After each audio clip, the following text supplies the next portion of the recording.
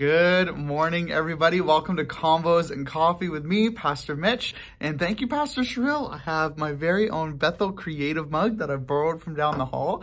And uh, as you guys know, if you've been watching these, I'm not a big coffee drinker, but if you are, grab your cup. You know, maybe you're in your PJs this morning because I know the pandemic is still going on. It's like day 780,000, it feels like. And, uh, but today I want to talk about the story of Exodus. We've actually been walking through with our youth here, so our junior highs and our senior highs here at, Bethel, uh, we've been walking through the series titled Supernatural.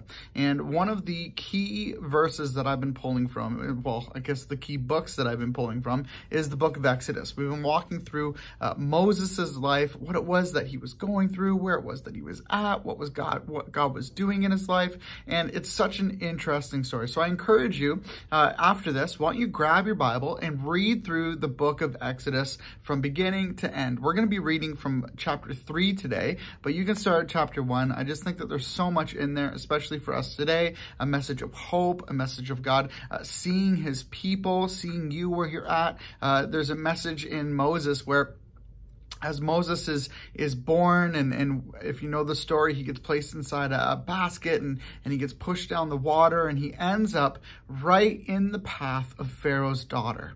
And Pharaoh's daughter adopts him into the home. And so we see God's provision here. We see purpose already being manifested over Moses' life. And uh, as he's being raised by the Egyptians, He's learning about their traditions, uh, but his mom has actually been brought on by Pharaoh's daughter to take care for him, take care of him, and so he is also learning about his Israelite traditions and and and their histories. And so what we find is that Moses is, is, is in two worlds at once. He's living the lavish life in, in Pharaoh's palace and, and uh, amongst Pharaoh's people, but he's also watching as his people are enslaved. And one day he comes upon a slaver, uh, one of Pharaoh's men, uh, beating one of his uh, native Israelites, and, and Moses gets upset and ends up killing the slaver. And immediately, instead of reporting back or facing uh, the consequences, Moses runs away. In the very early stages of Exodus, you'll read that Moses finds a family, gets a wife, starts working for his father-in-law as a shepherd. And here in chapter 3, we come along Moses, and Moses has been, uh, by this point, well removed from his life as Pharaoh's adopted son, and is now living with the sheep in the fields, uh, making sure that they're taken care of and watching out for them. And we see here that Moses is, is as he's looking after the flock, maybe wondering, you know, does God even still see me? Looking back on his life and seeing such purpose and seeing God's clear hand, and now it's almost as though the sin that he committed has led to him being forgotten. So in chapter 3, verse 1, it says this Now Moses was tending the flock of Jethro, his father in law. We talked about that. Uh, the priest of Midian. And he led the flock to the far side of the wilderness and came to Horeb, the mountain of God. There the angel of the Lord appeared to him in flames of fire within a bush. Moses saw that the bush was on fire, but it did not burn up. So Moses thought, I will go over and see this strange sight. Why does the bush burn, but it does not burn up? When the Lord saw that he had gone over to look, God called to him within the bush, Moses, Moses. And Moses said, Here I am. In verse 5, really, really, really, really important here. In verse 5, God says, Do not come any closer, but take off your sandals, for the place where you are standing is holy ground. Then God said, I am the God of your father, the God of Abraham, the God of Isaac, and the God of Jacob. At this, Moses hid his face because he was afraid to look at God. I love this story. Uh, I don't know if you can see yourself in this story, but there's many times where, uh, especially when I was being raised early on in Christianity, I thought that when we made mistakes and we, we messed up, that it meant that God kind of wrote us off. And when we came back to God, we kind of had to start all over again and refresh the part, the process. And it was a lot of guilt. It was a lot of shame.